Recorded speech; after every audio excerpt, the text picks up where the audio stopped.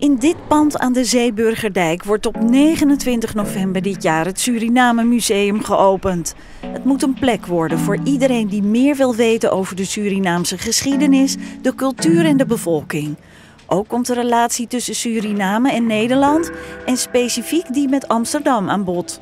Nou, we staan nu voor het uh, Hugo Leijveldhuis. Dit is uh, het gebouw van de vereniging Ons Suriname en dit is al meer dan 50 jaar het huis van Surinamers in Nederland. En uh, hier komt straks het Suriname Museum in. Hier komen de bezoekers uh, straks binnen. We zijn druk aan het verbouwen, dus ik neem jullie even mee wat er allemaal gaande is. Dit is de eerste ruimte van het museum. Hier komt straks uh, een jungle, dit wordt omgebouwd tot jungle en hier wordt het verhaal van de flora, de fauna en de inheemse van Suriname verteld. Nou, dan zijn in deze zaal aangekomen en dit is de zaal uh, waar het verhaal over de slavernij verteld wordt. Ja, over de WIC, VOC, de overtocht. Een, een replica van een slavenschip maken we hier van 3,5 meter breed, een doorsnede. Je ziet de onmenselijkheid, hoe ze behandeld werden, hoe ze vervoerd werden. Maar ook als je iets verder loopt straks, kan je straks naar de kelder en daar komt een één op één replica van een slavenruim. En uh, Fort Elmina, uh, Fort in Ghana, waar uh, uh, de slaven voordat ze de overtocht gingen maken, werden ze daar maandenlang gevangen gehouden totdat ze verscheept werden. Waarom moet Amsterdam een Suriname museum hebben? er is heel, heel, heel veel onbekend, vooral bij de jongeren. En niet alleen bij de Nederlandse, alle Nederlanders, maar ook bij de Nederlanders van Surinaamse afkomst is er heel weinig kennis over de Surinaamse geschiedenis. Is het ook belangrijk dat het echt in Amsterdam is? Het kan natuurlijk overal staan, maar uh, Amsterdam heeft natuurlijk wel een uh, relatie met Suriname, omdat Amsterdam eigenaar is geweest van Suriname. Dus het is wel belangrijk dat het hier in Amsterdam komt. René Wissink is de ontwerper van de tentoonstellingsruimtes. Eerder ontwierp hij expositieruimtes voor het Cobra Museum en het Savonet Museum op Curaçao. Was het een moeilijke opdracht? Uh, het is niet zozeer moeilijk, het is veel omvattend. Ik bedoel, uh, je hebt natuurlijk heel veel bevolkingsgroepen. Het gaat om heel veel informatie op heel veel niveaus. We hebben, uh, het gaat niet alleen over het land en de bevolking, maar ook over de, de, de omgeving, de natuur, de, de, de, de, flora en fauna. Dus dat vraagt nogal het nodige aan informatie wat we moeten verwerken. En de keuzes die we moeten gaan maken. Bedoel, het is een land wat vijf keer zo groot is als, als Nederland wat daar allemaal is en, en wat je allemaal kan vinden en uh, wat voor rijkdom het heeft. Ik bedoel, dat is ongekend.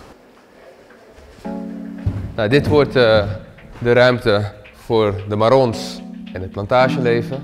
De marons, uh, dat waren slaven die zich verzetten en vluchtten in de jungles en daar gemeenschappen opbouwden. En ja, dat verhaal gaan we hier vertellen. Hier bouwen we ook een antresol. Dus uh, over deze hele verdieping komt een, uh, ja, een entresol balustrade, zodat we een tweede verdieping hebben. En op de bovenste verdieping uh, komt het verhaal over de eerste contractarbeiders, de Chinezen, en over de boeroes. Wie waren de boeroes? Nou, de boeroes dat waren kolonisten, die kwamen in 1845 naar Suriname. Dat waren geen slavenhandelaren, ook geen plantage-eigenaren. Immigranten waren dat. en die kwamen naar Suriname om een, een, een beter leven in Suriname te stichten. In deze ruimte is straks te zien welke rol Amsterdam speelde in de Surinaamse geschiedenis. In 1683 werd de stad mede-eigenaar van de kolonie Suriname en verdiende met het bestuur van de West-Indische Compagnie tot ver in de 19e eeuw grof geld aan de slavenhandel. Hier komen straks allerlei 18e-eeuwse portretten die we in bruikleen hebben gekregen van de Rijksdienst uh, Cultureel Erfgoed. Ja, en aan de andere kant uh, willen wij portretten van tot slaafgemaakte die door hedendaagse kunstenaars uh, geschilderd worden. Waarom moeten we erheen? Ja, omdat we heel veel te leren hebben. En omdat het een stuk van onze, ook onze Nederlandse geschiedenis is. Ik bedoel, wij zijn verantwoordelijk voor, uh, voor wat er gebeurd is. En uh, ja, daar mogen en rekenschap uh, voor afgeven, maar ook begrijpen. In plaats van het allemaal maar weer wegschuiven of badinerend over praten of tot aan het racisme aan toe. Nou, dit trappenhuis wordt straks helemaal afgebroken en daarvoor in de plaats komt een, uh, een lift. Waar gaat die lift heen? Die lift die gaat naar de tweede en de derde verdieping.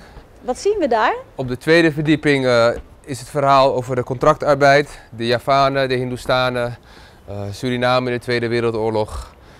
En de derde verdieping is het verhaal van Surinamers in Nederland. Ja, dit is, een, dit is de bovenzaal van het museum. Hier komt straks Surinamers in Nederland. Hier gaan we voornamelijk vertellen over ja, de grote migratie van Suriname naar Nederland voornamelijk 1975, toen grote groepen Surinamers naar Nederland toe kwamen. En uh, ja, wat is er daarna gebeurd? Hoe hebben ze zich geworteld hier in Nederland? Welke bijdrage hebben ze geleverd aan de Nederlandse samenleving? Wat wil je bereiken met dit museum? Nou, je, je leeft toch met elkaar samen, dus als je iets meer over elkaar weet, uh, kan het alleen maar goed zijn. Waar verheug je het meest op? Op de opening. Ja? Ja. Worden gereisd even ja, ook? Ja, veel werk en het, uh, uh, uiteindelijk als, uh, als je zoveel gewerkt hebt en, en je gaat dan open, dat is natuurlijk de kerst op de taart.